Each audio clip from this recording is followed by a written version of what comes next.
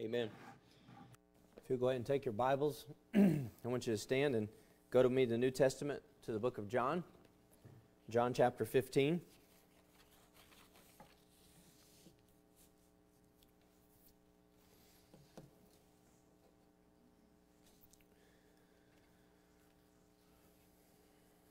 John chapter 15.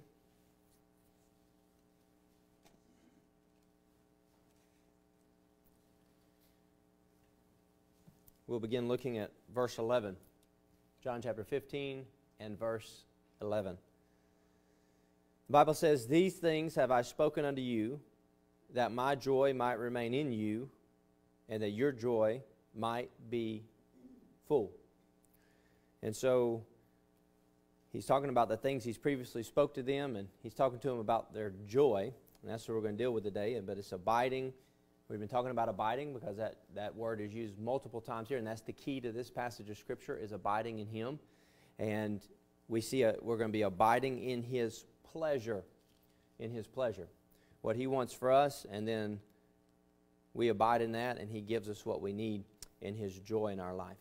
Let's pray. Father, we thank you for your word today. Thank you that we might be able to open it, and that we can do that, and that we can receive from what your word says to us. Uh, would you be very thorough with us today? Specifically about our joy and what you want for our life.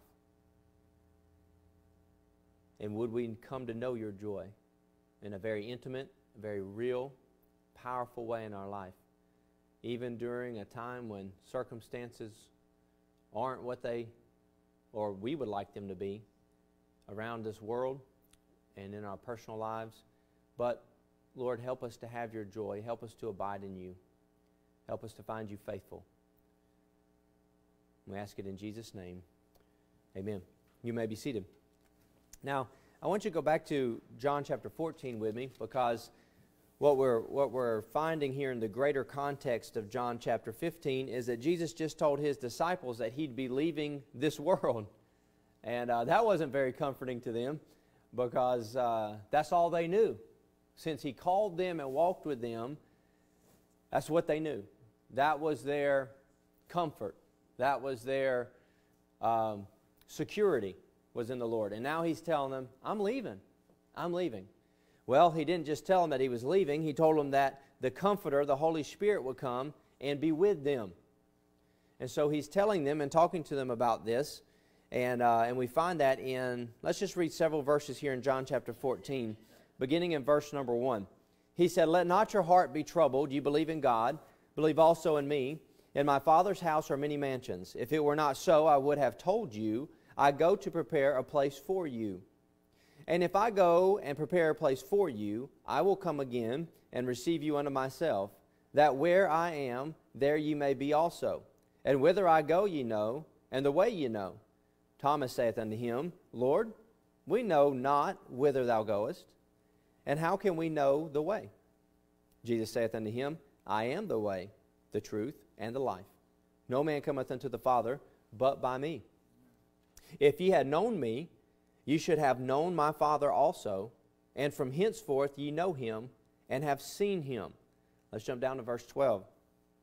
Verily, verily, I say unto you, he that believeth on me, the works that I shall do, the works that I do shall he do also, and greater works than these shall he do, because I go unto my Father. Look at verse 18. So he's talking about leaving. Good thing is, he said, I'm coming again. I'm coming back. And in verse 18, he said this I will not leave you comfortless. I will come to you. Yet a little while, and the world seeth me no more. But ye see me because I live. Ye shall live also. Now go down to verse 25. These things have I spoken unto you, being yet present with you. But the Comforter, which is the Holy Ghost, whom the Father will send in my name, he shall teach you all things, and bring all things to your remembrance, whatsoever I have said unto you. Peace I leave with you, my peace I give unto you. Not as the world giveth, give I unto you. Let not your heart be troubled, neither let it be afraid. By the way, it's the second time he said, Let not your hearts be troubled in this passage of Scripture. Ye have heard how I said unto you, I go away and come again unto you. If ye loved me, you would rejoice, because I said, I go unto the Father, for my Father is greater than I. So even though this was serious, a very serious and very sad discussion he's having with his disciples, Jesus wanted them to know that they could have his joy during this time and for the rest of their lives. Because he was leaving, but the Holy Spirit, which was another comforter, which was the same kind of comfort because we understand that Jesus is God, the Holy Spirit is God, and God the Father is God, and uh, not three gods, one God. And um, He's living in us now in the person of the Holy Spirit.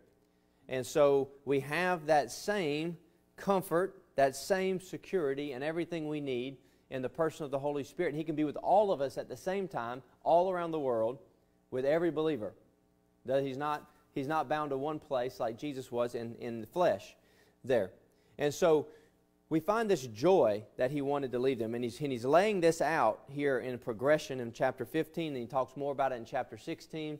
Uh, when he's talking to them and making preparations for him being gone and for them to not have him anymore here on earth. Now, joy when we're talking about this joy, is true happiness. And it does not change with circumstances. We all have different circumstances. It does not change with problems. We all have problems. uh, or events in life. Well, all of us have events that are taking place in our life. Some of them we like, some of them we don't like.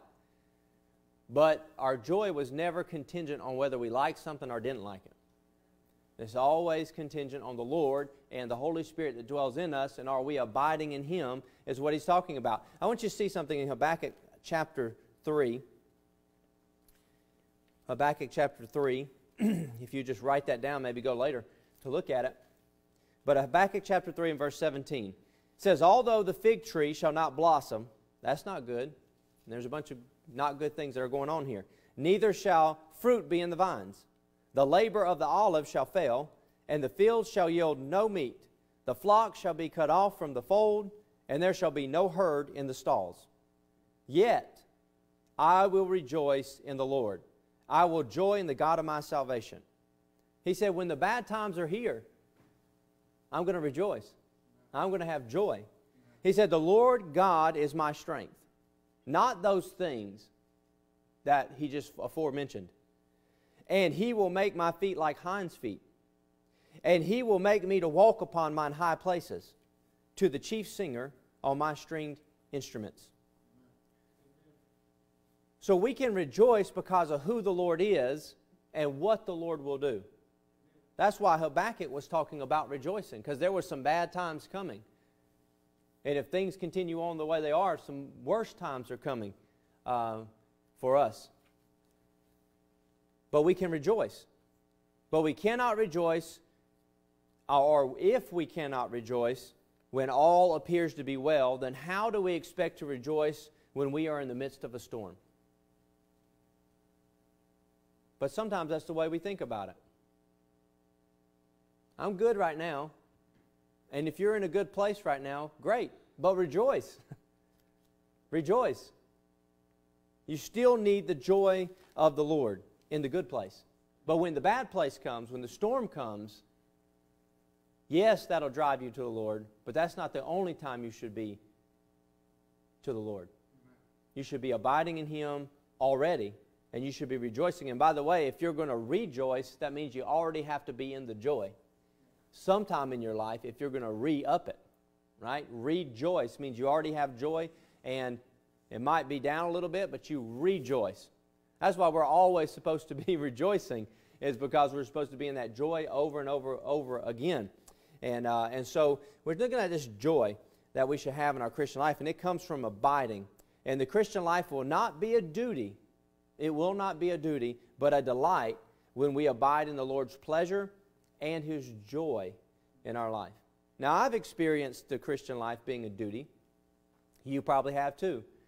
There are things, I've got to do this.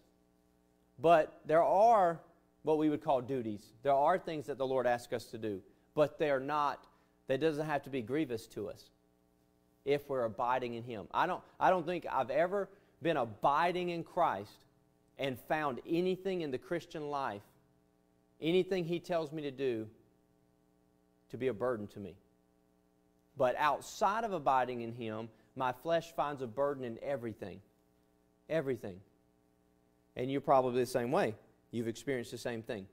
So, first of all, I want to look back at John chapter 15 and verse 11. And the Bible says, These things have I spoken unto you. These things. So, first of all, we look at the conditions for joy. The conditions for joy. The Lord speaks, and we need to listen to Him. You know, He speaks to us for a reason. When He's directing you and He's guiding you through His Word or whatever, there, He's, he's speaking to you. And He said, These things have I spoken unto you. So Jesus is saying, I have spoke to you, and you need to be listening to what I spoke. Sometimes we listen to everything but Jesus Christ. There's a lot, there's a lot of voices in our lives today. I guess more now than any other time in human history, and it just keeps getting more every day with media and all of the social platforms we can be on, all of the news. Um, everything is at our fingertips, and so everything is trying to speak to us. I was just having a conversation with my brother the other day, and um, and we were talking about how burdensome information is how being so burdened down with things. Um, and, and we kind of come to that spot where we're so burdened down with everything um, that we can't do what we ought to be doing because it's so sidetracked us if we're not careful. And the world is constantly trying to speak to us. You know, the world's got a message, and it's not the message of Jesus Christ. It never has been, it never will be. And uh, it might sometimes seem similar to that, because the world's message is going to be a deceiving message. And it has to be close to it sometimes. And sometimes it's totally opposite. And that's where the world really does lie. And, um, and I don't mean lies and tell a falsehood. I mean that's where it sits and that's where it stands as opposed to Christ. It has that spirit of Antichrist, the world does, and the system thereof. And so the Lord speaks to us every day, but we don't listen. He is speaking to us. He didn't stop speaking when the book of Revelation. Now, I'm not saying he's given us extra biblical revelation today. I'm saying when he stopped with his written word, he didn't stop speaking to believers. He didn't stop guiding us with his Holy Spirit or any of that when the book when his word was written. The Lord might speak to us. Listen, he might use circumstances in your life and he's going to speak to you. So pay attention. Now, I'm not saying go um, super uh, mystical on me, and every little circumstance has something from God in it, because that would be silly as well. Oh, something happened. Well, you know, a black cat come on the side of the road. Somebody's going to die today. I, I don't know what you're superstitious people, but we don't have to be superstitious about things. Or everything has a meaning to it in our life, right? If we, if we, if we see these things. But circumstances, the Lord absolutely uses those in our life. He also speaks to us through other believers. Has the Lord ever used another believer to help you? Yes, He's used uh, believers in my life too to help me many times to speak something. But you know how most of, sometimes it's something that I didn't even think about. Sometimes, but this is usually how it works. If I walk with God and abide with Him, the Lord's putting things on my heart and then somebody else is walking with the Lord, the Lord's putting something on their heart. And it happens to be the same thing. So when they come to talk to me or I go talk to them, we figure out the Lord's doing the same thing. And that helps to confirm things in, in, in a way there in our lives. So I like to see that. I like to see that with my wife and I. I like to see that in my family. I like to see that with church family, other believers, how the Lord works that out. You know, sometimes the Lord will use an, um, a, an unbeliever in my life. I've had the Lord to rebuke me through an unbeliever before. I've had the Lord show me some things about myself through an unbeliever. And so, but that's not usually how He works it. It's usually through someone walking with Him, another believer there. Um, but the Lord might speak to you through His Word, and I think that's where He mostly will speak to us and change us and turn us and direct our mindset and our lives is through His Word. And we ought to be careful to be in His Word. And He said, These things have I spoken unto you. He is speaking to us, just like He spoke with His disciples. He wants to speak with us. So we need to hear We need to hear the Word of God. I think this is how He speaks mostly to us, by the way. So we need to put ourselves in a position that we hear the Word of God daily. What are you doing to hear the Word of God? Might be that you're reading the Word of God and you're hearing it, but what are you doing to hear it? You know, I have, I have an app on my phone and I listen to the Word of God. So I listen to it um, amongst reading it. We'll talk about that in a second, but listening to it. I listen to people preach the Word of God. Yeah, guess what? I need preaching too. I need to hear from somebody else besides myself preaching and, and hearing it. Um, but the Word of God, are you hearing it? Is this the only time you hear it in Sunday school or in Sunday morning, Sunday night, Wednesday night? Is this it? You need to hear it every day. You need to have the Word of God being pumped into you every day. Outside of your reading, outside of what's going on, you need to set aside some time where you listen to the Word of God. Then we need to believe the Word of God. So, what are you going to do with it when you hear it? There is always a response that needs to take place. Always a response. Now, Jesus was speaking to them. They heard it, but they, there's a response to it. And the response is you need to abide. You need to abide to what I'm telling you. And we need to make up our mind that whatever the Word of God says, it's true and it's right. That's it. It doesn't change. It's true and it's right. And if, and if we need to also make up our mind that it is the Word, uh, in the Word, where we find our joy. Through the written Word, through the living Word, through the imparted power of the Holy Spirit in our life.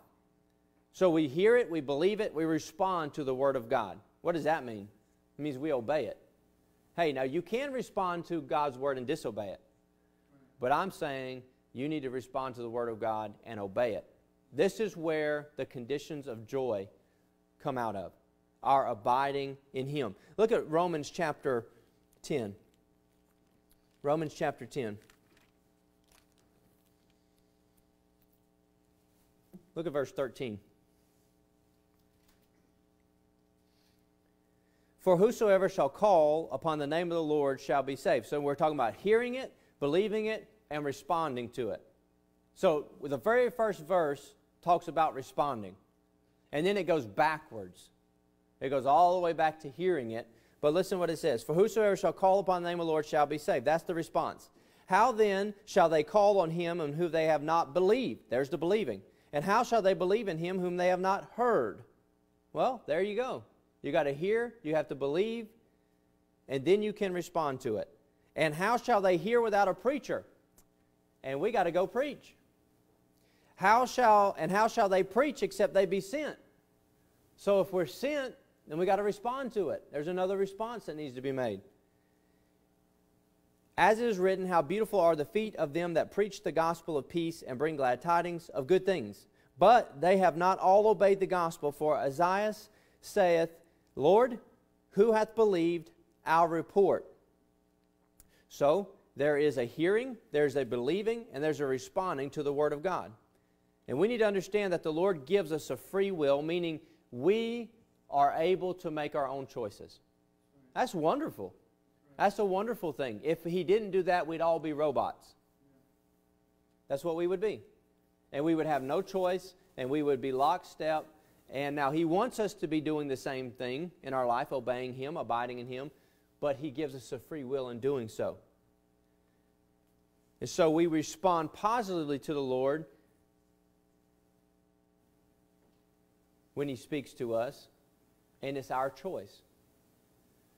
So that's the choice we ought to be making. There are conditions attached to the joy that Jesus wants us to have in our life. And we need to meet the condition of abiding in Jesus so that we can abide in His pleasure and we can have His joy in our life. He goes on and he says this These things have I spoken unto you, that my joy might remain in you. So I've told you these things, I've told you some conditions. You need to hear them, you need to receive them, you need to respond correctly to them. And then he said that my joy might remain in you. So the constancy of joy, the constancy of joy. He said He wants it to remain in you. Constancy. The Lord's joy remains in us when we exercise faith in His Word. Look at uh, Philippians with me. Philippians chapter 2. Philippians chapter 2 and verse 5. Let this mind be in you, which was also in Christ Jesus. He's always trying to develop the way we think into the way He thinks. I don't know of a better way to do that. Well, of course, abiding, because then His Holy, the Holy Spirit of God can direct the way we think and our, because that's what He's trying to do, lead us and guide us. But when we read His Word, you know what we find out? We find out how the Lord thinks because this is His Word. When He tells us about something that happened, that thing that happened might be bad, but He tells us what He thinks about it. So when we find out what God thinks about something by reading His Word, then how should we think about it?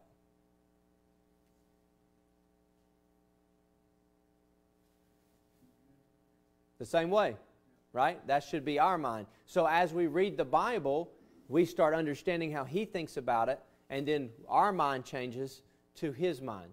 That's always what He's trying to do. He's trying to work in us that we have the mind of Christ. And if we have that mind, then we'll have His joy. As we abide in Him, we're going to have this joy. Look at James chapter 1. James chapter 1 and verse 8. A double minded man is unstable in all his ways. A double minded man is unstable in all of his ways. That means we want to believe, but we don't believe. We have a mind, we're saying we want this, but we're not willing to meet the conditions. A double minded man is unstable. We cannot let our emotions dictate our joy. So often we do. Oh, we don't feel good, so I can't have joy inside of me because I don't feel good. Now, I don't want you to equate joy with smiling 24 hours a day. Okay? That's not joy. Now, joy will cause you, I think, to smile. There are times you're going to you're going to be joyful with that, but you don't have to. You don't have to. But I do find that whenever I'm abiding in the Lord and walking with Him, I do have a smile about things. I do see things even when they're going bad, I do see good in it.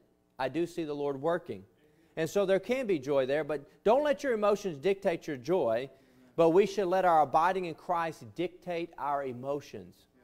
That's where we go really bad and really difficult about things. Well, I don't feel like. So then you say that means I'm not.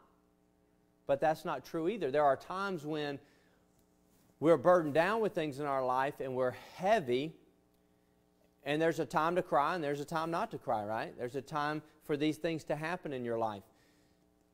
But you can still have God's joy in the midst of natural emotion of crying, right? You can still have that. And uh, we, we have to let our abiding in Christ dictate our emotions. And as we hear, as we believe, and obey the Word of God, then His joy will remain in us. I'm going to give you one reason why His joy is going to remain in us. As we do that, because what He's telling us to do is to abide. And if we are abiding in Him, look at Galatians chapter 5. This is what's happening. It means we're walking in the Spirit. If we're abiding in Him, it's synonymous with walking in the Spirit. And the Bible says this the fruit of the Spirit is love, and what's the second one? Joy. Love, joy, peace, long suffering, gentleness, goodness, faith, meekness, temperance. Against such there is no law. So, if we are abiding in Him, then we will be abiding in joy because the Holy Spirit is living in us and His fruit is joy.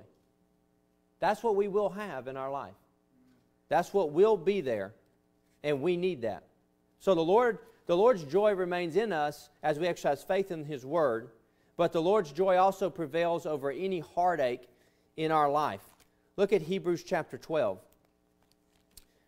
Hebrews chapter 12 and verse 2. The Bible says, Looking unto Jesus, the author and finisher of our faith now listen what this says. Right in the middle, he's the author and finisher of our faith, but it says this For the joy, who for the joy, talking about Jesus, for, for the joy that was set before him, endured the cross.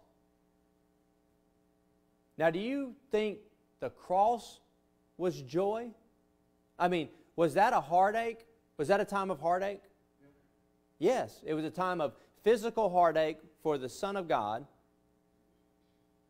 to be beaten, to be put to death, to be crucified, everything that he went through physically, it was not a pleasant time. There was a lot of heartache. And that's not even where it ends. But it says this despising the shame and is set down at the right hand of the throne of God. His joy was the joy of us. His joy was not going to the cross. His joy was not dying physically. His joy was not on the cross before he gave up the ghost that he said, Eli, Eli, lama sabachthani. My God, my God, why hast thou forsaken me? That was a spiritual separation. A time where he was separated from God the Father. Do you think that was joy to him?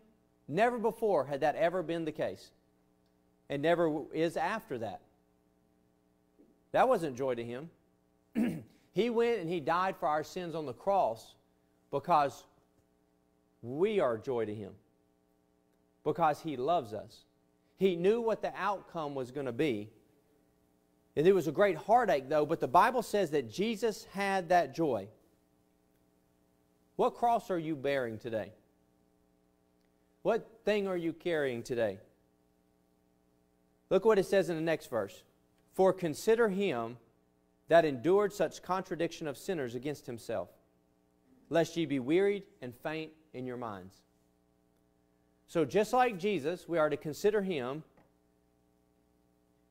because when we do, we can endure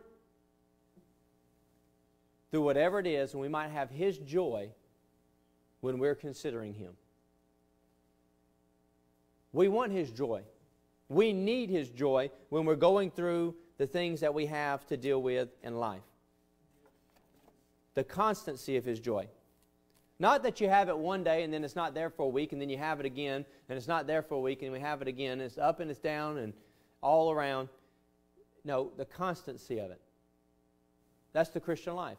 Consistent. Consistent abiding, consistent walking with the Lord. Look at Psalm 30 and verse 5. Psalm 30, verse 5. For his anger endureth but a moment. In his favor is life. Weeping may endure for a night, but what? Joy, Joy cometh in the morning. By the way, the morning's coming. The morning's coming. The joy is there. He wants you to have it. And we're experiencing the darkness of life, we can be assured that joy is coming in the morning.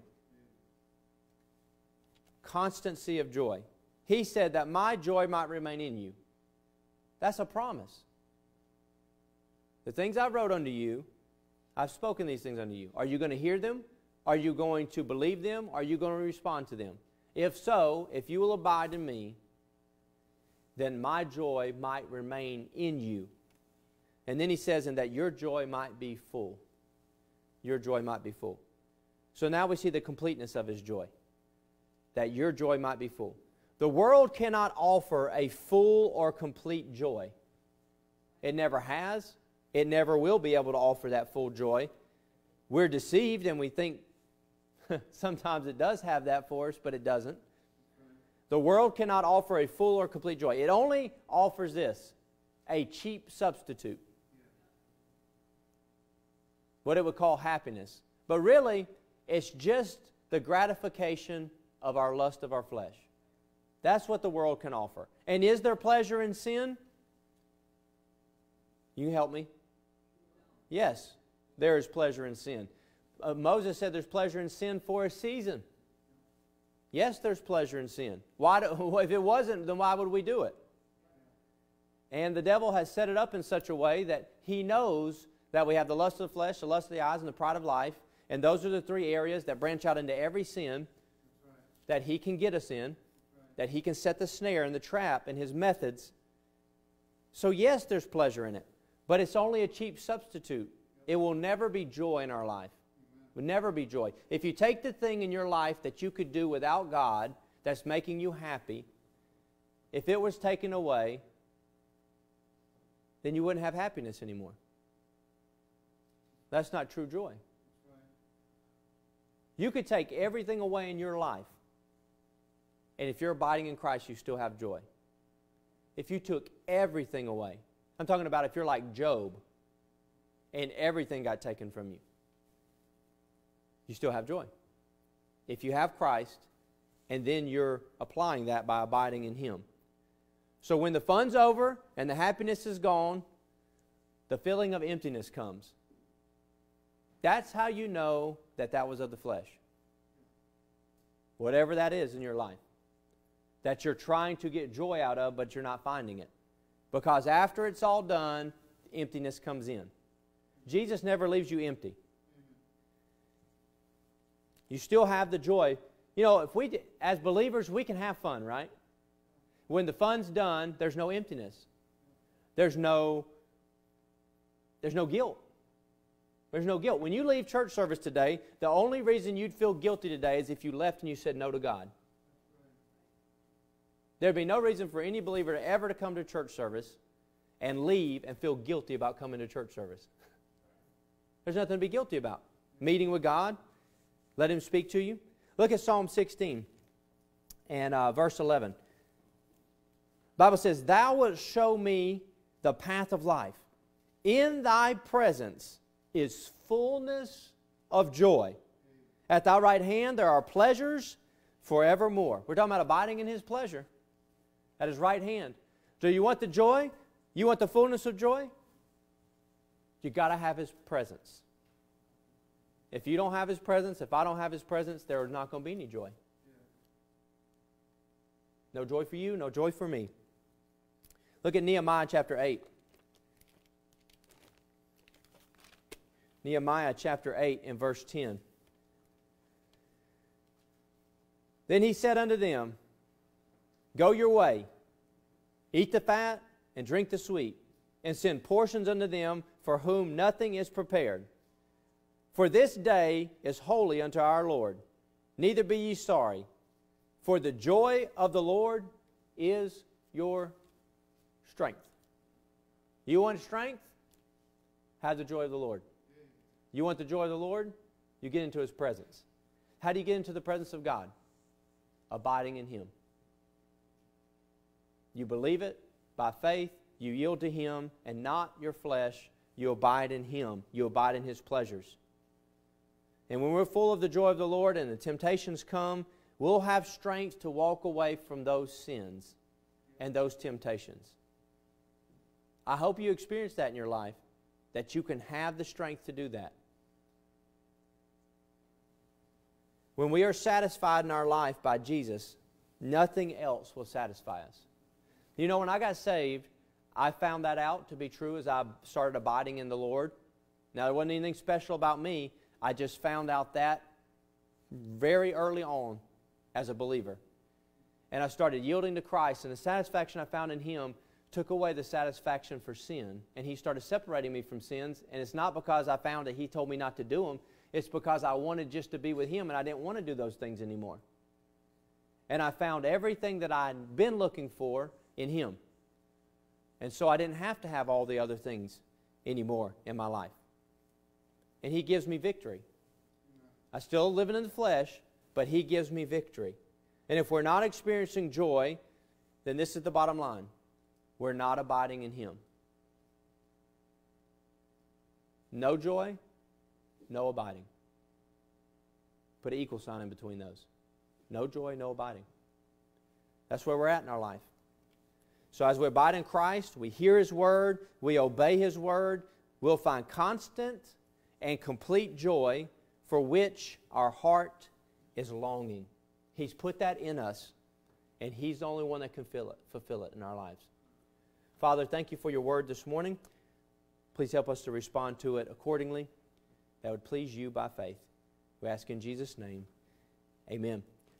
Heads bowed, eyes closed. Maybe you're here this morning and you say, Brother Justin, I'm lost. I'm on my way to hell this morning. I don't know Jesus as my Savior.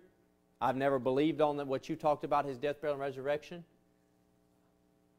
I didn't understand that he did that with joy for me, and he died, and he was buried and raised from the dead.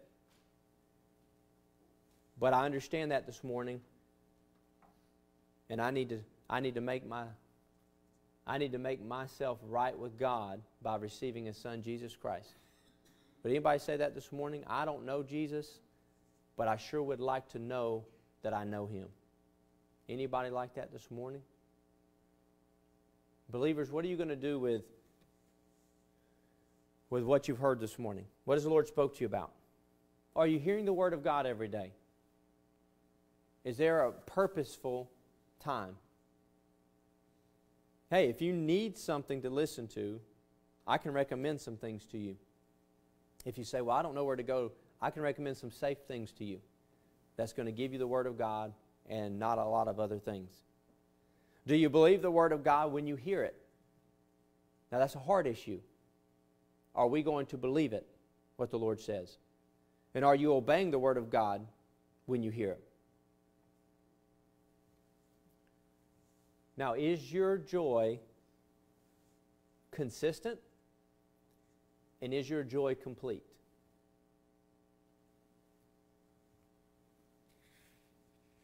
Answer those questions, and you have the answer that the Lord wants you to have this morning about are you abiding in Him? There's a lot of things we already looked at that come out of abiding. This is one of them. And it's wonderful that His joy remains in you and in me.